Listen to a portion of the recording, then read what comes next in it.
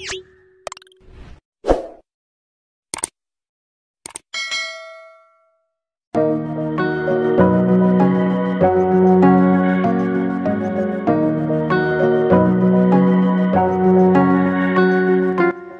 ketiga BRI Liga 1, PSM Makassar akan menjamu Persija Jakarta di Gelora Bej Habibie setelah Bali United pada pekan kedua. Kick-off PSM Makassar versus Persija Jakarta, hari Jumat tanggal 5 Agustus pukul 17 waktu Indonesia Tengah.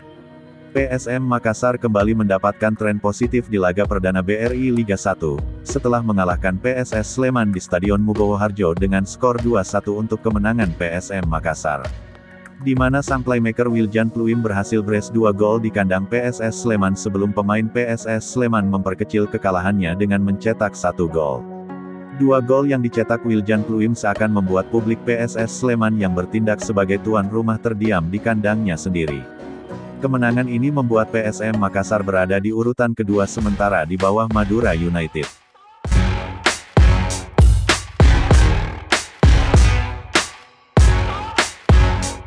Berbanding terbalik dengan Persija Jakarta, harus menerima pil pahit di laga perdana BRI Liga 1 setelah ditekuk oleh Bali United dengan skor 1-0. Kekalahan itu jadi pukulan telak bagi Persija Jakarta, terutama Hanno Behrens, yang baru mengawali debut bersama tim barunya di Liga 1. Usai menelan kekalahan, pemain 32 tahun itu mengakui pemain Persija Jakarta banyak membuang kesempatan di babak kedua. Ia pun setuju dengan ucapan pelatihnya, Thomas Doll.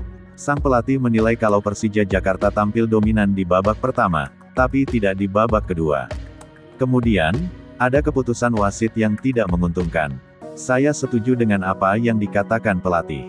Kita sangat dominan di babak pertama dan saya pikir seharusnya kami mendapat penalti. Tetapi itu semua tidak bisa diubah.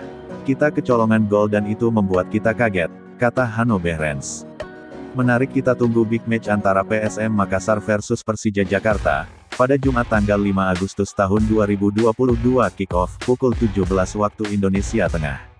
Live Stadion Gelora Bej Habibie Pare-Pare. you